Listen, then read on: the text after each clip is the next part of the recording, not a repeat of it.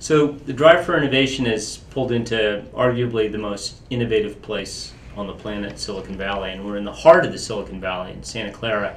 And we're at a company that's actually one of the few that actually can look down on Intel, believe it or not, and it's a startup company. Memoir. Welcome to the Drive for Innovation.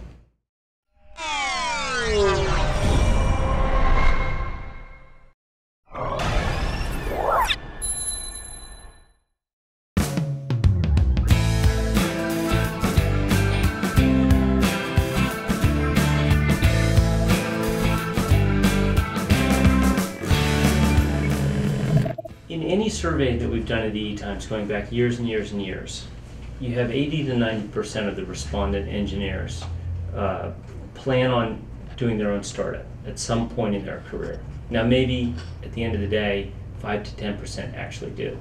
So you guys are the 5 to 10%. What is it about about you guys and your vision of the world and your knowledge of technology um, that's made you go down the startup path rather than work for an established company uh, for your careers?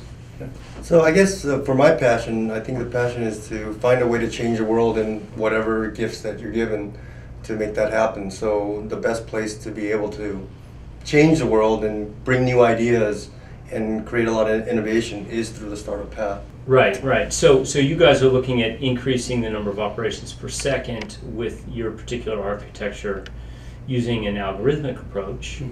Explain that. Sure. Um, so the problem we're trying to solve is essentially increase the number of memory operations, which really means the number of unique times you can address a memory and, and request data. It's a little different from memory bandwidth, which is just give me as many bits as possible. So an analogy is if you look at a hard disk and you want to read the whole sector, you can read the next 10,000 bits sequentially, and that's bandwidth, just raw amount of data in and out. What we're trying to focus is a little more intrinsic harder problem, which is how many times can you request unique pieces of data? Uh, that's really the foundation of the problem we're trying to solve. And we call that memory operations per second, MOPS. or MOPS, yeah. So we kind of coined the acronym uh, in hindsight. Uh, but the approach we've taken is a very system centric approach. So rather than try to make memory faster by making better transistors, and there's a certain you know law of diminishing returns now Right. that most of the work innovation has been done in the circuit space. We've applied a sort of systems perspective to it and said, gee, if you could architecturally or algorithmically uh, make a memory faster, even though intrinsically it's still running at a slow clock speed, then what, what can be done? So, Da, you wanna? So I think with the, the advent of this technology, what we've been able to do is make the memory building process more of a software problem instead of a hardware physical design circuit problem. Um, where are we in terms of uh, productization? I, I assume it'll be an IP block, maybe, or something like Yeah, that? Yeah, today, in fact, we introduced our first product based on this technology. It's called Renaissance 2X. And Renaissance is because it's Rebirth, we're really changing the way people, imp- you know, touching memory or implementing memory. 2X stands for two operations per second, not two operations per second yet, two MOPS. Later on, we'll be introducing a higher accelerated version of the Renaissance. But the 2x, uh, what's unique about 2x, in fact, if you look at the whole semiconductor ecosystem, we're able to reduce the risk, accelerate time to market, and design or produce uh, application optimized two port functionality with half the cost by eliminating the need for the industry to use what's eight transistor bit cell. Are, are re-architecting a memory module itself, or just attacking the, the bus, the pipeline between the memory and, and whatever engine it's, it's is banging on? So we we take an existing memory macro as is. So we're not modifying the transistor layer. So we take it as is and then apply a CS style algorithmic layer in front of it, right? And so what we want to say is, well, leave this as is. You have this front end, a wrapper or an IP, if you will, and then expose more ports. So even though this memory can only do one operation per cycle, we'll expose an interface that allows you to do two or three or four operations per cycle. as, as Adam mentioned, Renaissance 2X, the first product, is exactly two operations per cycle. And how we do the two operations, even though the memory can support only one, is essentially a secret sauce. So, guys, talk to me. When we're out on the road, we're, we're, and we're talking to engineers, entrepreneurs like yourselves. We're, we're always trying to kind of burrow into that aha moment that led you down the, the technological path that you've gone down. What was your aha moment where you realized, well, that's a logical way to approach improving memory bandwidth? So um, it took us almost, I would say, 12 months after we started Memoir to really hit that aha.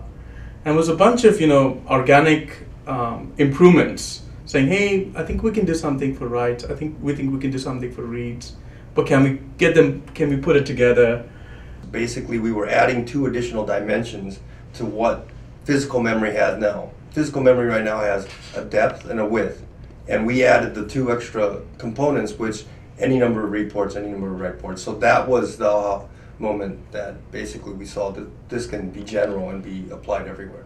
So every solution uh, is a breakthrough in, in some respect, but there's always a trade-off, especially in design. what's the, what's the trade-off here? Is there more overhead in programming? Is it is it the fact that it's a new approach? Uh, uh, the, the main trade-off uh, we've done is really area.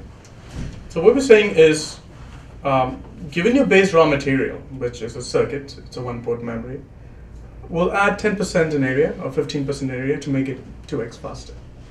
We'll add another 15% to make it 3x faster, and so on. Right. So that's what we're trading off.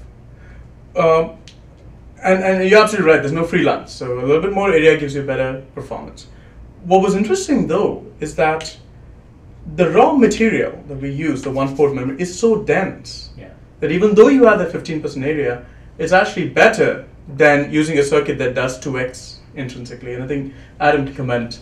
Yeah, I think uh, even though we're adding 10 15% area overhead to make a one port, two port, the alternative is to add 100% area. Right. So from that perspective, we're saving area, we're saving power, and we're making our two port as fast as a single port.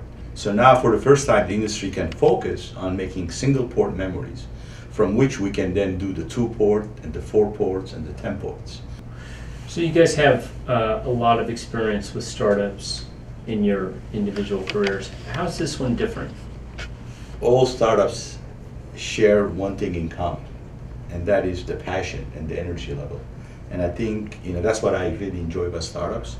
You get an opportunity to build something from scratch, and and you have an opportunity to change the world for the better. You know, I, I, I, would, second what Adam was saying. Uh, that the main fun is in innovation, is in being creative. I mean, at the end of the day, if you if you're in a deathbed and you look back at life and what you've done, you, you won't feel that you created something which is of better and different from the norm, and that you did good to the world. You know, uh, not to use the cliche, but eventually that's what makes you happy or satisfied, I should say. There's lots of things that make you happy, but satisfaction is uh, a more longer term effect. And um, to me, uh, Memoir at least has been a foray in essentially that. We have a very broad technology, unlike some of the stuff I was involved in previously. It's really broad across the semi space. And I think done the right way with the right team and right set of people, we can actually go beyond, you know, being a shot in the shot in the dark, if you will. Yeah, I think for me, I think I agree with Sundar. I think uh, I think the previous startups that, that you know I've been a part of is they were trying to solve a niche problem, and it wasn't so general as what Memoir is providing. Where we're actually going to change the entire you know semiconductor world on how people do ASIC design. That's the that's the greatness about what Memoir brings to the table.